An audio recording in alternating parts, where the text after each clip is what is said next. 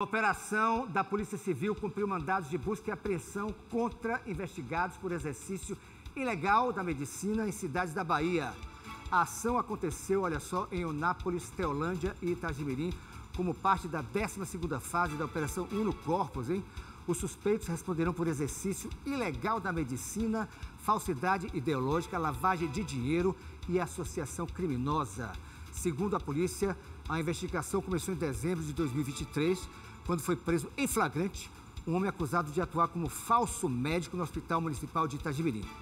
Os falsos médicos foram proibidos de frequentar hospitais e postos de saúde públicos, exceto na condição de paciente, diz o delegado. É paciente, pode, ele é médico.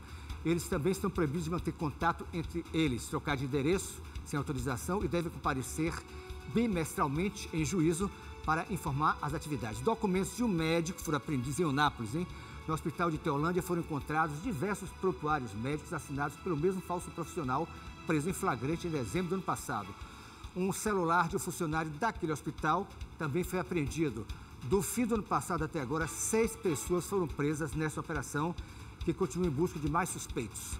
Aliás, a operação exitosa. Conversamos ontem ao vivo com a delegada Rogéria Araújo. Mais uma vez, eu parabenizo ela. Essa operação realizada em todo o estado, combatendo o tráfico e combatendo também estelionatários como esse aí.